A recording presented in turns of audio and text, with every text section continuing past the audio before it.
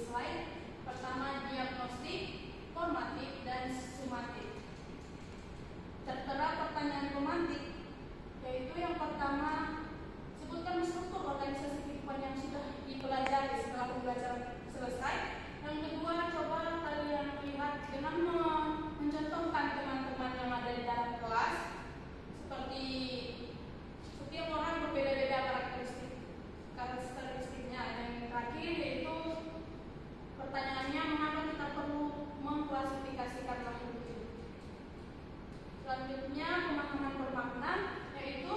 pertama peserta didik dapat memahami tentang pentingnya mempelajari keanekaragaman hayati. Yang kedua, peserta didik dapat memahami pentingnya belajar klasifikasi makhluk hidup ini